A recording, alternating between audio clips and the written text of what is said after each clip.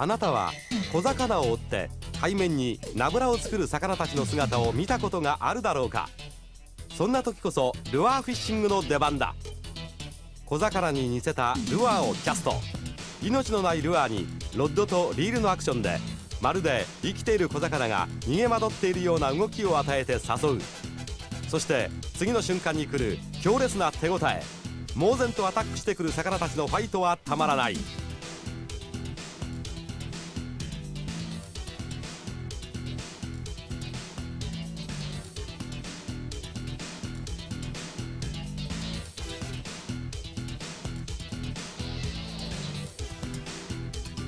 ルアーフィッシングの基本は相手がフィッシュイーターであること。小魚を追う魚であれば全てがターゲットと思っていいだろう。ルアーフィッシングは淡水のブラックバスに始まり河口のスズキ海のボートキャスティングへと大きく広がりを見せた。そして今ルアーフィッシングの未知なる世界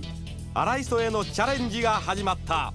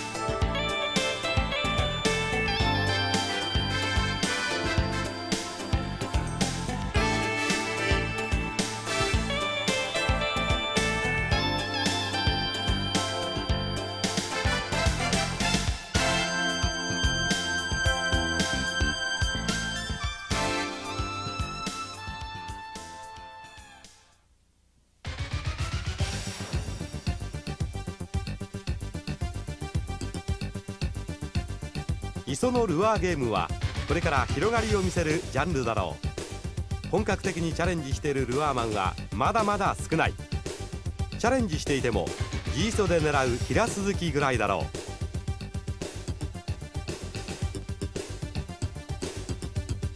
う。淡水とは比べ物にならないほどターゲットは多く。カンパチブリヒラアジヒラスズキヒラマサヒラメ数え上げればキリがない。バリエーションの多いルアーフィッシングの中で磯というステージは今スタートしたばかりで未知数の広がりを秘めている。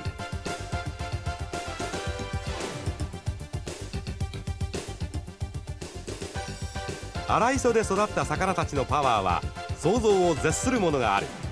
ファイトはスリリングで時にはラインを引きちぎりロッドをへし折っていくやつもいる。磯のルアーゲームは過激なステージなのだ。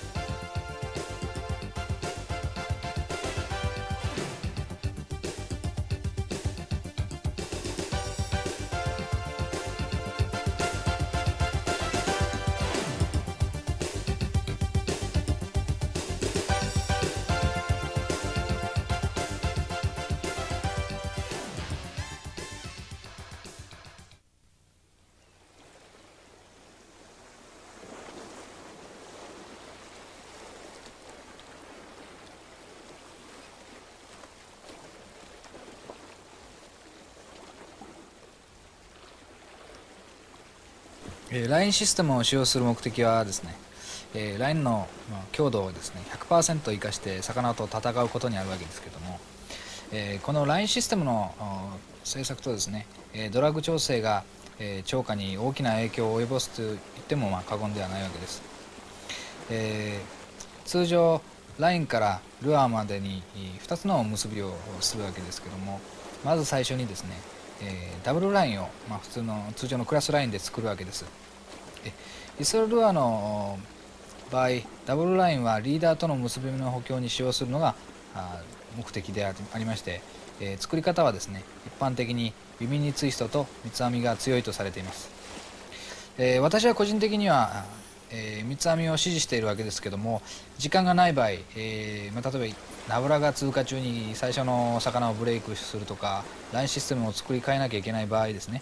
はあビミニツイストをする場合もあります。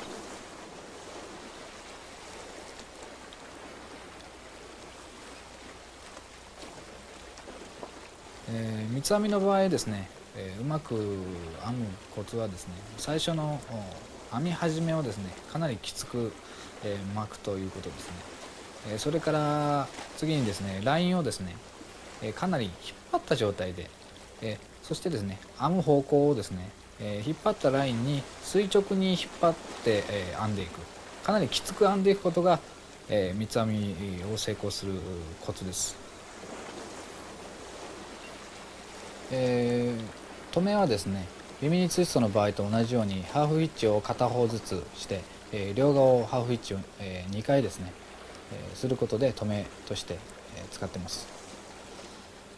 えー、その後ラインの寄りを戻しまして、えー、2本もしくはですね3本寄りをですね、えー、今度はじわっと寄っていくわけですね。寄って1本にまとめてしまうんですね。これなぜそういうふうにするかというとあのキャスティングした時に、えー、このダブルラインの輪っかがですねガイドに引っかかってしまうのを防ぐためにするわけですけども、えー、次に、えー、オルブライトノットですね、えー、オルブライトノットはですね、えーまあ、コツはですね、えー、大体、えー、巻き数をですね、え、ダブルラインの場合は大体8回から10回ぐらい巻いてください。え、そしてですね締め込みの時がですね一番肝心で、え、締め込みで失敗しないように、え、均等に引っ張って締めていくということですね。そして最後はですね、えフライヤーで力いっぱい締めて、えファイト中のすっぽ抜けで、え泣きを見ないようにすることが、え大切ですね。ペンチで念入りに締めます。これで完成ですね、えー、三つ編み、えー、そしてよりをかけて、えー、オールブライトノット。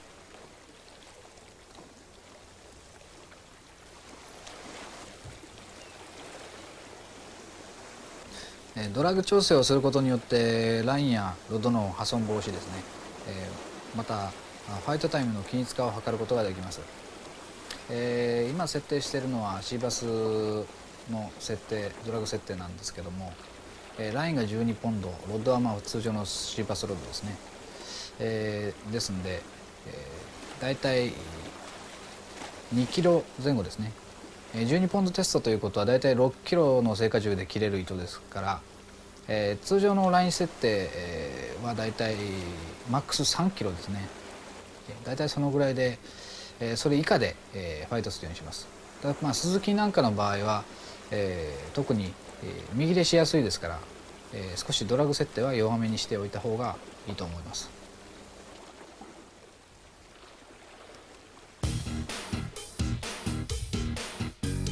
ソルトルアーゲームの最もポピュラーなターゲットがシーバス鈴木である。データを読みパターンを組み立ててルアーをセレクトしなければ見向きもしない。このゲーム性の高さとフックアップしてからの激しい抵抗がたまらない魅力。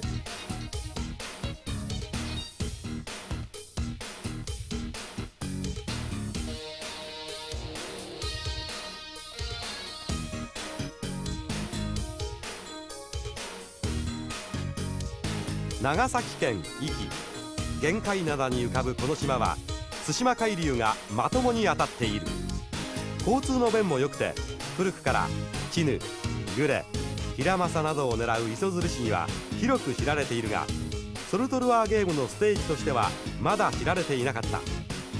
この島で平鈴木のルアーゲームが熱くなってきたのは数年前からで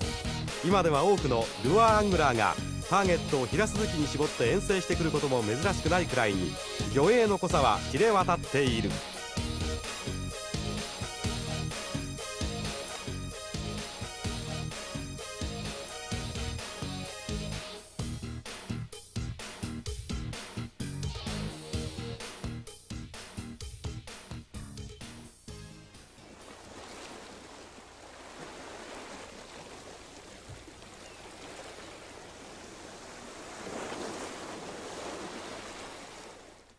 大体ロッドがですね12フィート前後の、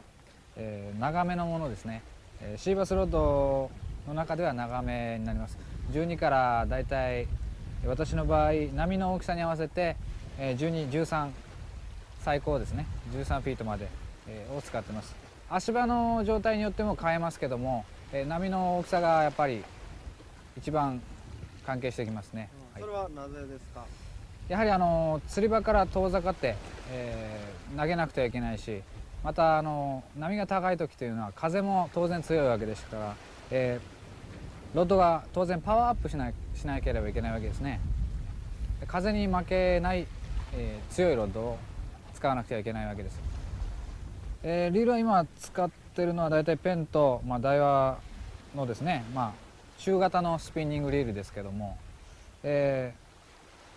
大体12フィートの方で方では大体標準タックですね。2メートルぐらいの時は、えー、12ポンドラインを大体、えー、200メートルぐらい巻けるリールを、まあ、標準にしてます。あのー、通常平鈴木って、まあ、鈴木っていうのは大体ミノが主体になるんですけども平鈴木の場合ですね、まあ、丸鈴木もそうなんですが、えー、飛距離がどうしても必要になってくる場合とあと強風下である程度距離を出さなくてはいけないですね。またそういう場合もありますで、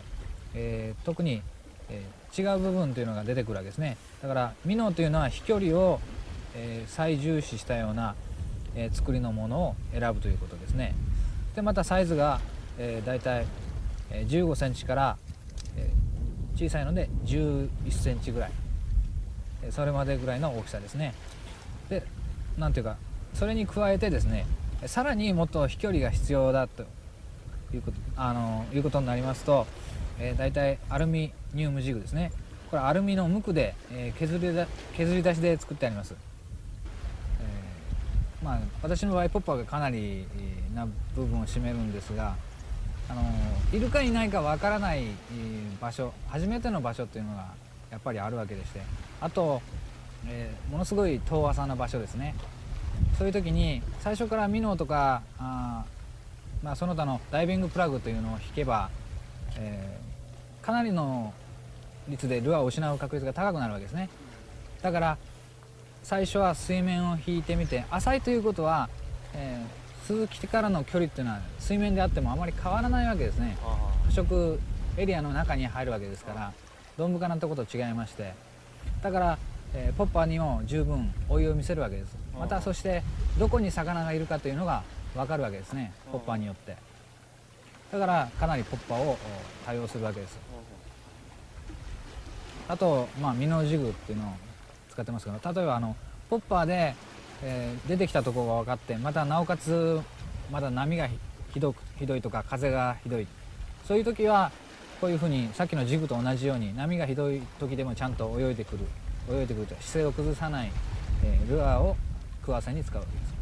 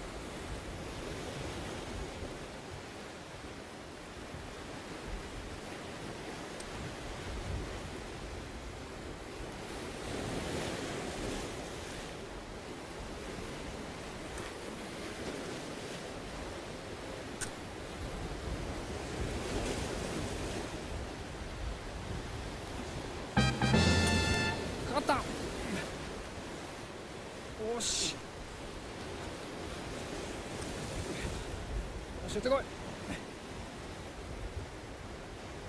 早いちょっと。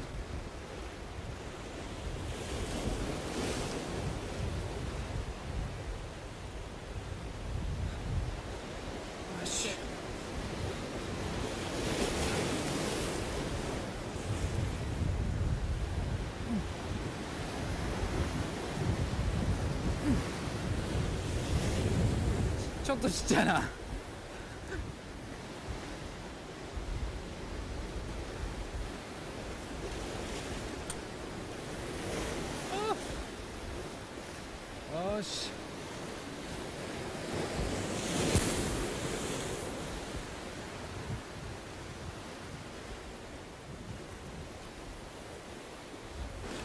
波に浮かして、えー波が来るのを待ちます。そして浅瀬に浮かしといて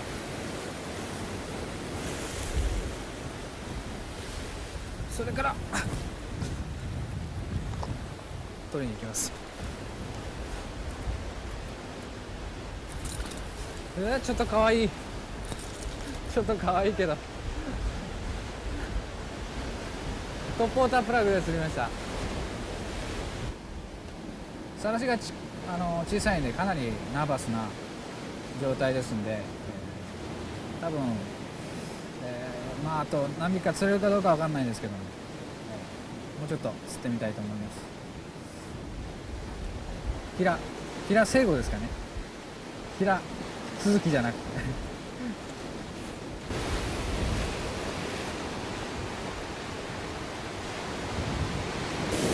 その半月状の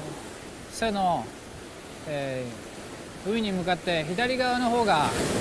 浅くてまたさらしもいっぱいできてます。で一方右側はどん深で、えー捕食がものすごくしにくいですね。やっぱり左に比べて。だからやっぱり、えー魚がいるのは左側になります。ただどちらかといえば捕食しやすいパターンというのは小魚の、えー数ではなくて、えー小魚をいかに取りやすいかというか、えーことが第一にあると思います。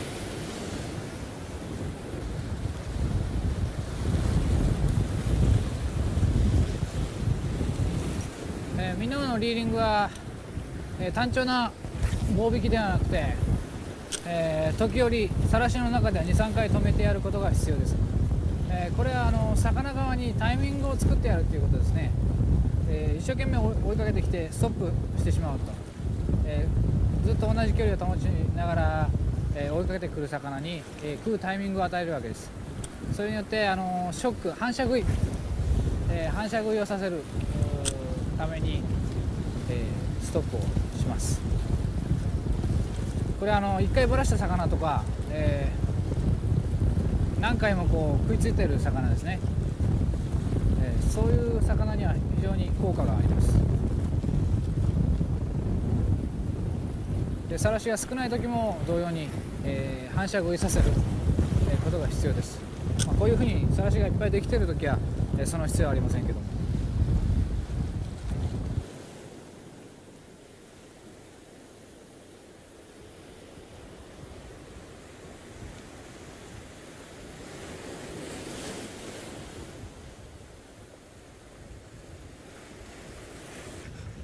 根がかりかと思えば。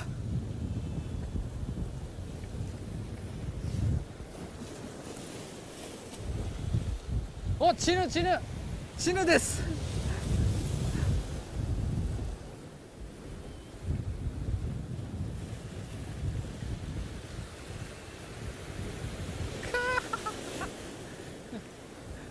チヌいきなり。なんだこのチヌはもうよしよ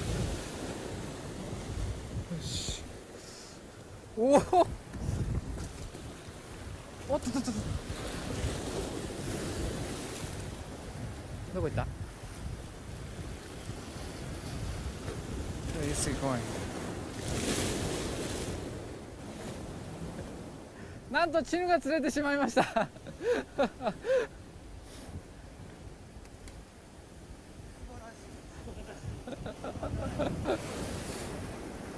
結構いいサイズですよねこのチヌ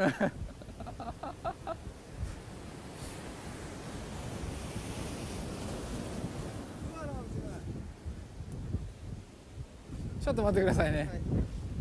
よっとこらしょ。いきなりチヌでした。いいな今日は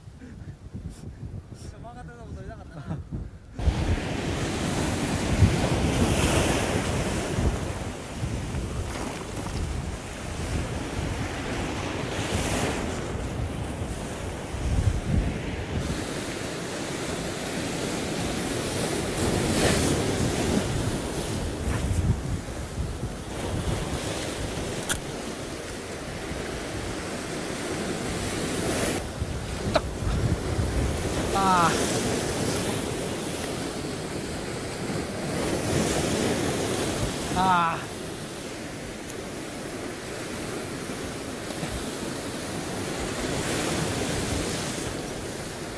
ちょっと難しい。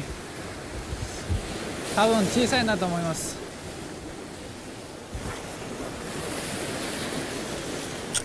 でもかなり食い気があります。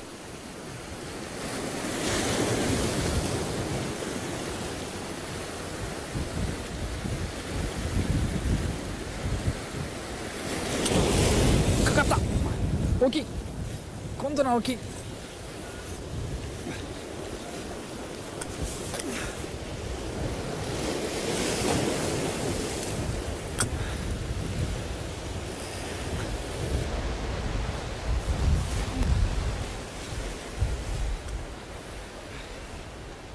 来い。あいいサイズいいサイズ。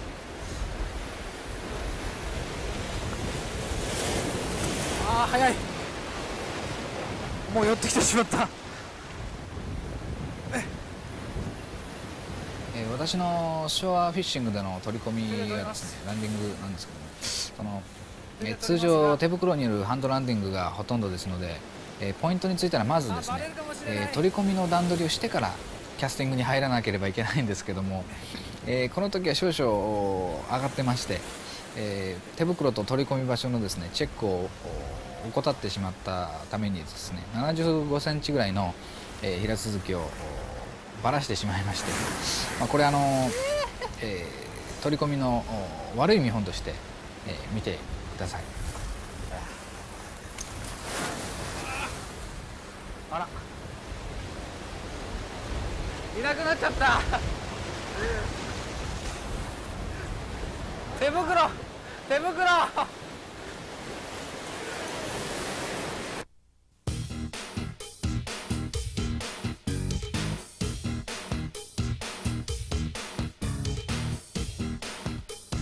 このヒラは早朝2投目にミノーにヒットしまして、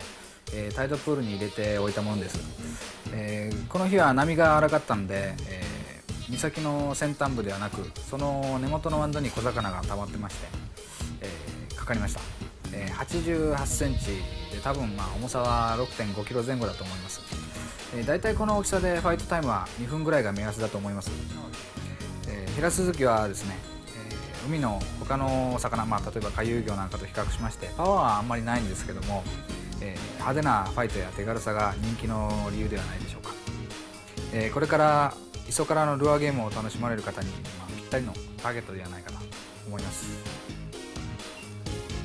えーそれと最後にですね、えー、平鈴木釣りに限らず、まあ、磯全般的にそうなんですけども、えーまあ、特に平鈴木の場合ですね、えー高い波の時にが一番条件がいいわけですから、えーそれなりに自分の安全の確保はですね、えーまあ、救命胴衣とかもちろん足元ですね磯口島の足元は、えーきちっとされてた方が確保されてた方がいいんじゃないかと思います。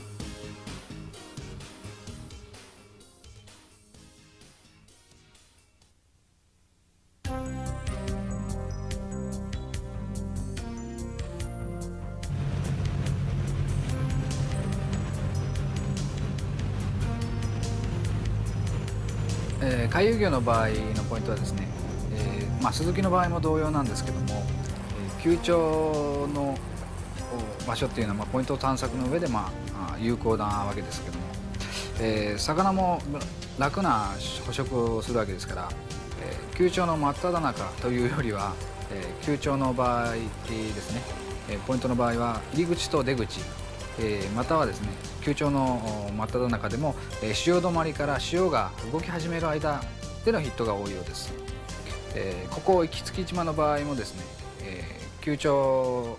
の場所のですね入り口ですね。球長の入り口の潮が緩やかな部分での、えーブリスズキのボイルが多く発生してまして、えーヒットも同様の場所で、えー多くありました。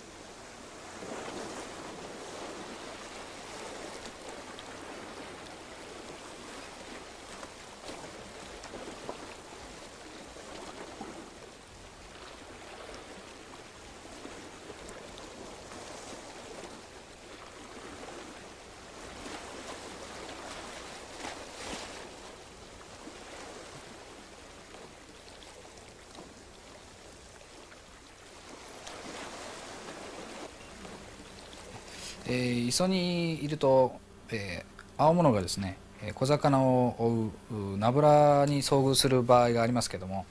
えー、こうした場合にはですねルアーでのヒットの確率は当然高くなります、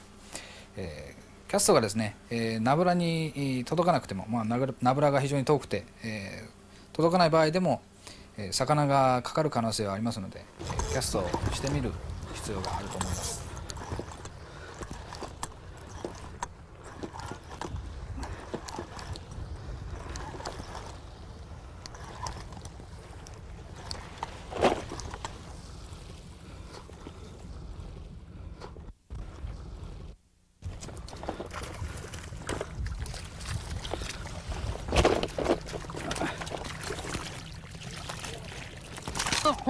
他ので投げて他のでルアー。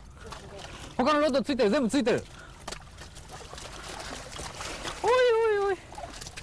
そんなお前暴れるな分かった分かった分かった。おいおい。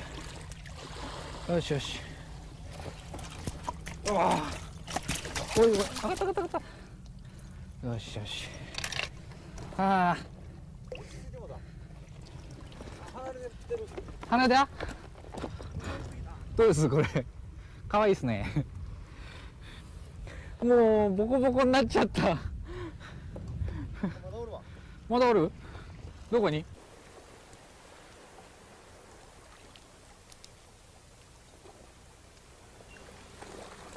えー、キャスティングではですね、えー、ラインを保護する面で2つの考え方があります、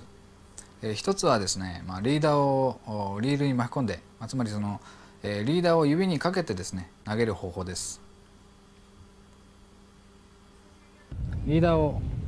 こにリールに巻き込んで1回転ぐらい巻き込んだ状態で投げるわけですね。で,、えー、多分そういう人は、えー、指に手袋をしていらっしゃると思います。で僕は手袋をせずに、えー、普通のこういうふうに、えー、ラインの方ですね。クラスラインの方をえに指をかけて投げます、えラインを傷つけないようにして投げる。投げ方は、えー、まあ、もちろんリーダーを巻き込んで投げるということですからリーダーと普通のクラスラインの、え、つなぎ目がですねガイドと干渉します。どうしても、えー、イオンがして、ガイドと、え結び目が当たってやっぱり結束部分が弱くなっておくわけです、えそれとこのラインに指をかけるということはラインがですね擦れるわけですから、えー、当然、えー、何回も投げているとここが弱くなっていくんですね。でどっちを取るかということなんですけども僕は後者の方で、えー、ラインを指で、えー、かけてそしてたらしを長くして、えー、ラインブレークが要するに、えー、リーダーのリーダーとラインの結び目の前後で起こらないように、投げたい。そういうふうに思ってるわけです。だいたい一番元のガイドあたりですね。このぐらいが一番力が入ります、えー、回転させながら回転させながらこう投げるわけですけど方向を制御しやすくしやすいんで、えー、飛距離も結構伸びます。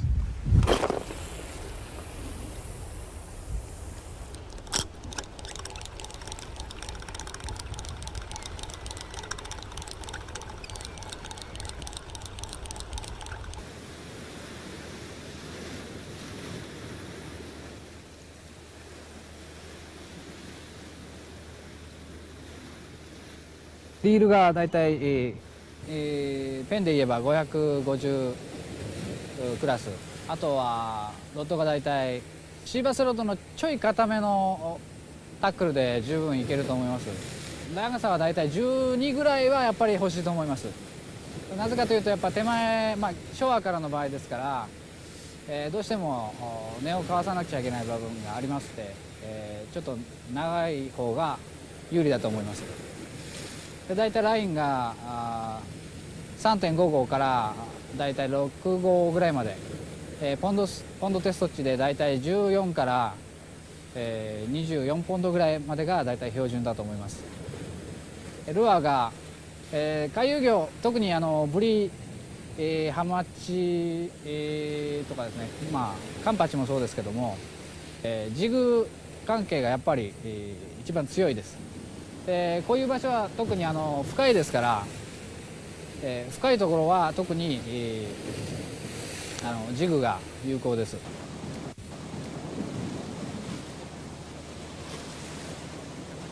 大体こう水深が、えー、大体25メーターぐらいあります。ちょっと先に行くと30か40ぐらいになりますけどもジグの届く範囲では大体25から30ぐらいですね。今使ってるジグが大体2オンスぐらいです。で、えー、今表層にはいませんので、えー、沈めます。大体カウントダウンで25メーターぐらいですから大体カウント20ですね。大体そのぐらいを目安にやってます。大体リーリングのスピードはそうですね、えー、人がまあ走るぐらい。ミディアムファーストリトリーブぐらいですね。これカーブフォールさせてますんで、えー、特にアクションをつける必要はないと思います。だいたいキャスティングの距離は一番飛ばさなきゃいけないのでやっぱり12030ぐらいは、飛ばせるように練習が必要です。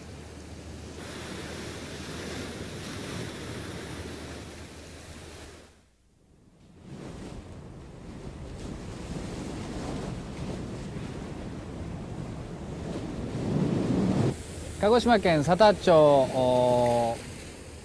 のですねメガネよこせという背に渡っております。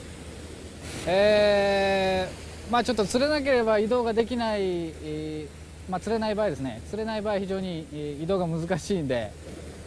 えー、あんまり僕は好きじゃないんですけども、え、あえて今回ちょっと挑戦ということで、え、あの、ここを選ばせていただいたんですけども、まあ、大体ポイントの選び方としては、えーまあ、ご覧のように潮流がものすごくえー、引きの潮流が速いところを大体ポイントとして、えー、ルアーは何でもそうなんですがどちらかというと水深が浅くなる方に、えー、釣果が集中するような気がしますけども、え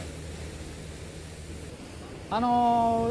ー、ルアーの場合特に言えることなんですが、あのー、本シーズン、えー、大体ヒラスとかブリとかは9月から以降になりますよね、えー、そっちの方はどっちかというとあのルアーに分が悪いんですよ。なぜかというとあのオキアミについちゃってもうちょっとルアーでは難しくなってしまう場合が多々あって、えー、で九州の、まあ、北部も南部もそうなんですがあの全然餌で釣れてない時が一番、えー、超過があって大体8月9月ぐらいまでが大体ベストシーズンだと思います。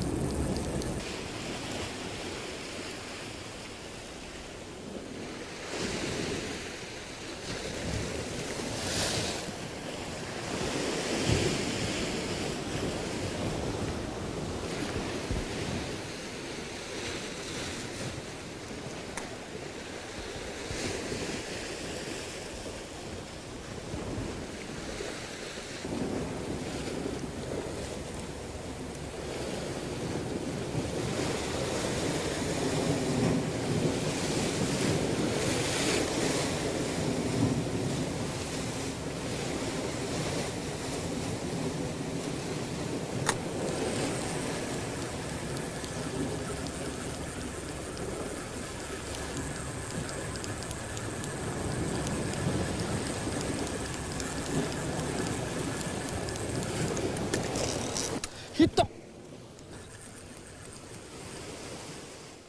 さて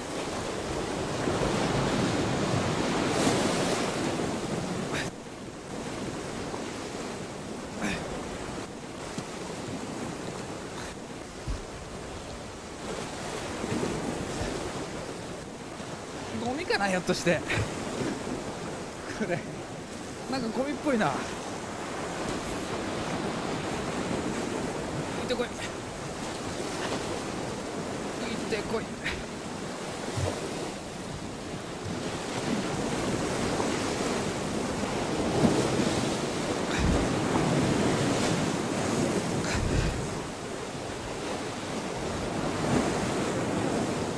魚なんでしょうねちょっと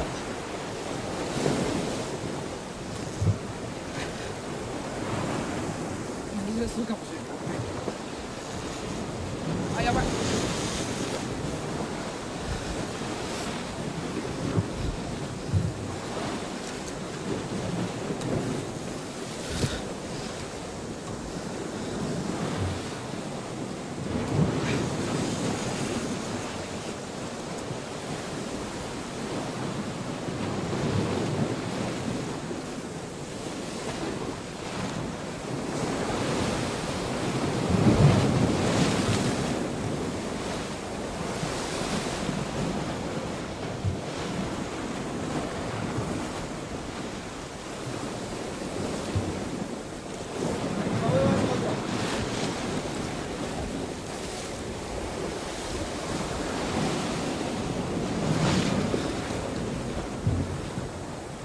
あんまり近づきすぎてちょっと深いから手前に一段浅いとこあるでしょ。そうそうそう。ほら今斜めになったでしょ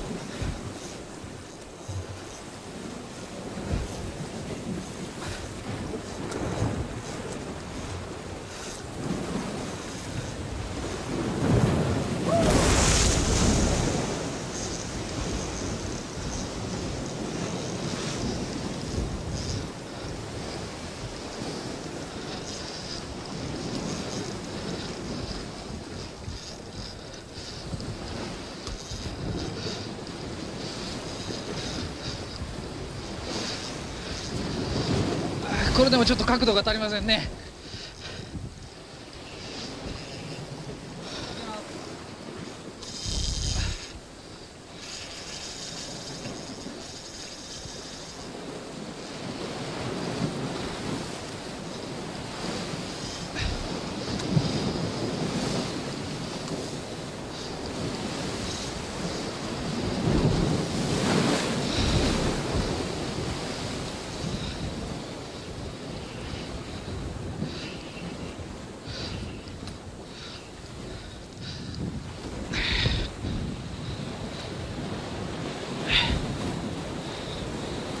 よし見えた。OK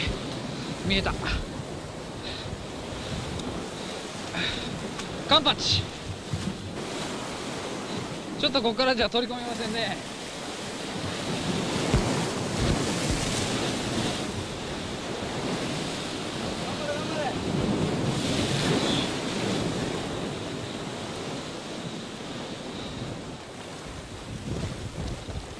よし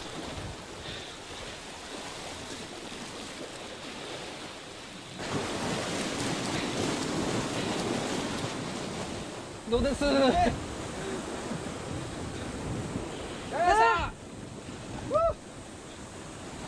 いい引きしてました。何かなと思った。いいサイズですね。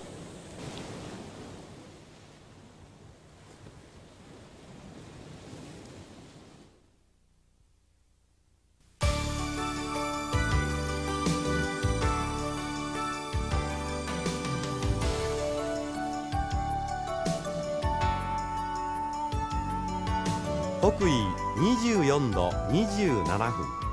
東経123度。台湾まで120キロ。日本最西端のこの島は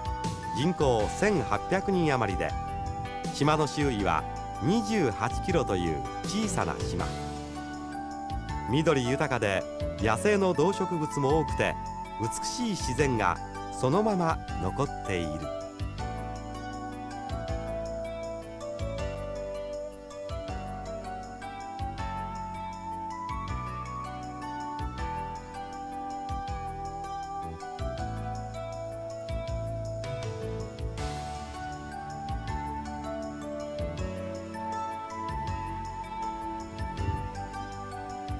磯は堆積岩と隆起サンゴが波に侵食されていて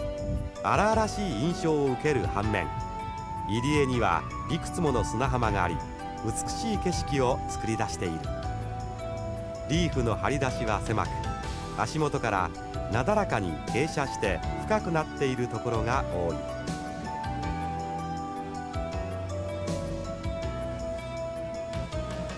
そして与那国は磯釣りが有名だが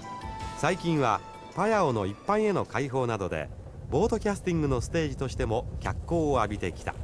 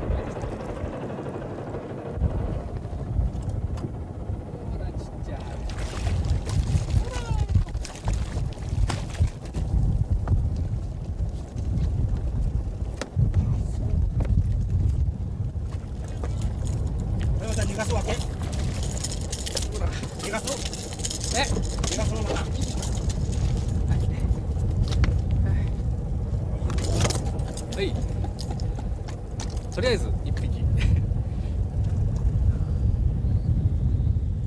いですね何キロぐらいですかえー、っと3キロ半ぐらいですかね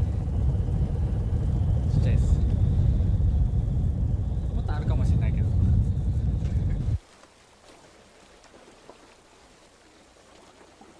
これトレバリ用のタックルの、えー、説明なんですけどもえー、まずこれが標準的なスピニングタックルです、えー、私が使っているものなんですけども、えー、まず 100g ぐらいの負荷を投げられるものフルキャストでいけるものですね非常に硬いです。多分あの他の竿でいくとそうですねヒラマサ竿よりもちょっと硬いんじゃないかと思います、えー、でリールがだいたい20ポンド。5号をだいたい 250m 以上巻けるものを使ってます。えー、それに、まあ、ラインは20ポンドですね、えー、それにルアーも 100g これが大体標準的なスピニングタックルです。与那国の場合は特にあのスピニングで、えー、しかも、えー、ペンシルポッパーを対応します。で次に、えー、ちょっと大大型の魚を釣るために、えー、岸からですねえ使ってますけども、えー、これベイト用のロッドでで、えー、まあ、負荷はもう大体100から大体 150g ぐらいまでのものを楽に投げられるぐらいのパワーを持たせてます。リールが大体30ポンドをそうですね 300m 以上巻けるぐらいの大きさです。えこれはあの 300m 使うというんじゃなくてそれぐらいの大きさを使っているということですね。で、えー、今ついてるルアーは大体 120g ぐらいのポッパーがついてます。ラインは30ポンドです。えラインシステムの説明をしておきます、えー、これがベイト用で、えー、ラインが30ポンドです。それをまず三つ編みしてあります。であのベイトタックルの場合はキャスティングの時のガイドとの干渉がトラブルが非常に少ないもんですから、え、ダブルラインは通常2メートルぐらいは通ってます。ダブルラインが2メートルぐらいありますね。そこを先端をオールブライトで今度は120ポンドのリーダーですね。を2メートル以上ですね、え、今はだいたい4メーターぐらい取ってます。でその先に、ルアーが、えー、ルアーがついてるわけですね。ですんで計、えー、補強した部分がだいたい、え、6メーターぐらいあります、えー、スピニングタックルの場合これ20ポンドテストラインを使ってるもんですからだいたい4メーターを超えないぐらいにえー、調整して使ってます。でまず、えー、まあ20ポンドテストラインですね、えー、それからあ、え、ダブルラインです。ダブルラインなんですけどもダブルラインはあ、えー、今度は折り返しの糸をもう1本足しましてトリプルラインにしてそれを寄ってます、えー、寄って1本にしてるわけですね、えー、長さはだいたい20センチ弱、えー、これ以上長いとちょっとトラブルが多いもんですから、えー、それから第2間をユニノットで2メートルほどつないでます。第2ですね。で、えー、それからナイロンの120から80ポンドぐらいまでのやつを2メートル、えー、計4メートル20ぐらい、えー、使ってます、えー、今回使用したのが大体、えー、大まかに、えー、2種類ぐらい、えー、大体ポッパーと総称で呼ばれているものばかり使ってます、えー、なぜポッパーを使うかというと、まあ、ただ単に面白いというところがあま、あ、ジグでももちろんそのトレバリは釣れるんですがえー、見えない魚を釣るのと魚を見ながら釣るというのはやっぱ若干、えー、面白みが違ってくるわけですね、えー、それでやっぱりポッパーを多用するようになりました。で、えー、大体使ってるのがそのペンシルポッパータイプですね。これ大体 100g ぐらいのやつなんですけども、えー、これはどちらかというとあの水面にあのよくダツがいましてそのダツみたいなイメージで引いていきます。パチャパチャパチャっていう感じですね、えー、このタイプはもうそういう引き方が大体一般的です。ですのでなるだけ水中にあの潜らないように。潜るとちょっと引き返しちゃいますね。魚が。でなるだけ早く引きます、え、次に、えー、スイミングポッパータイプですね。これはただ水中をガボガボガボガボってゆっくり、ゆっくりといってもそうですねミディアムファーストリトリーブぐらいですけども、そのぐらいで引いてくるわけです。すると、まあ、これをフリーノットで結んでますからこう左右に首を振りながら泡を含んでまああの簡単に言うとトローリングヘッドですね、あれと同じような動きで、泳いでくるわけですけどそれに、えー、ヒラージがゆっくりついてきて食いつくと。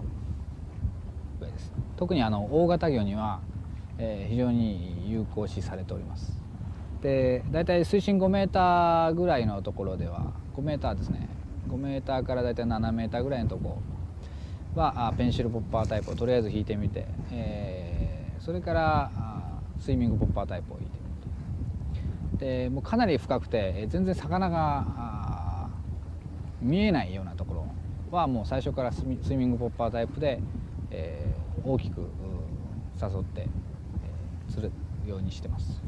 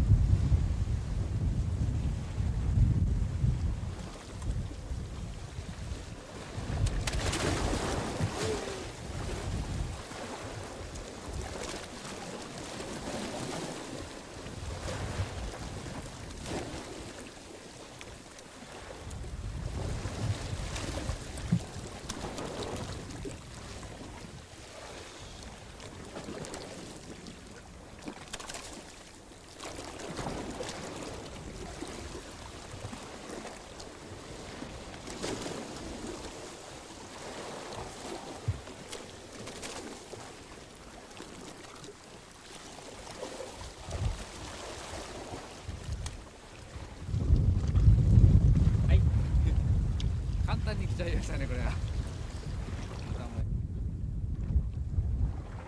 霞ですね。霞味何キロぐらいですか？3キロないぐらい。ちょっとちっちゃいね。いいですね。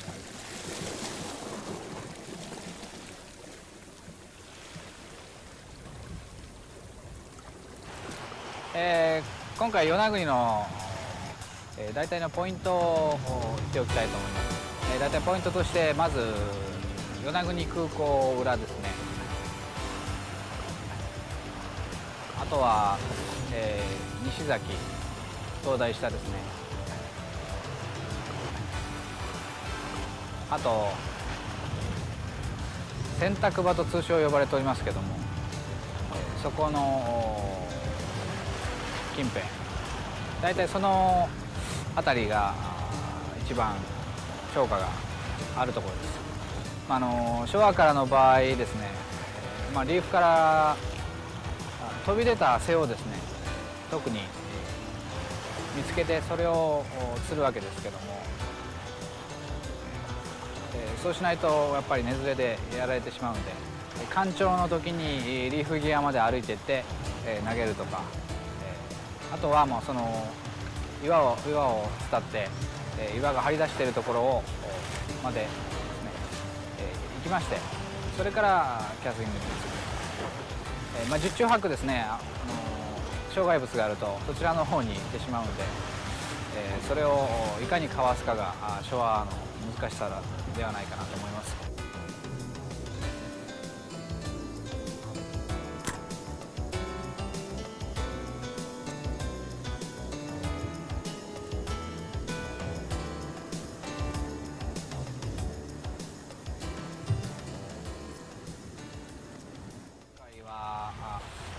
まあ、非常に高台の上から釣りやすかったんで、すぐ釣れたんですけど、まあ、大きさも大きさでしたから、簡単だったんです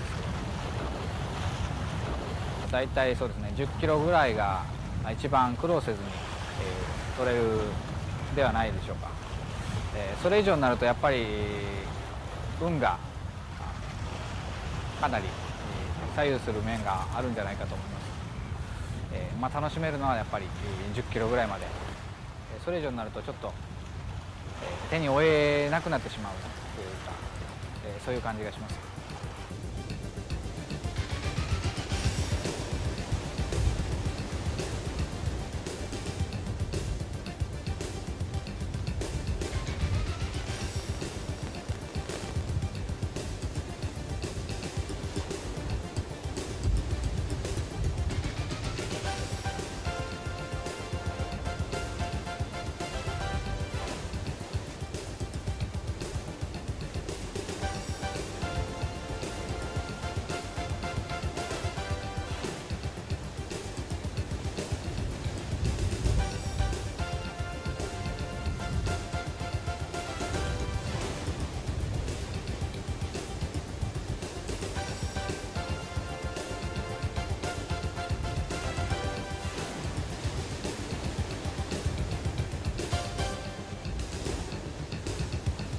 ルアーフィッシングといってもただキャストしてリトリーブの繰り返しだけではない。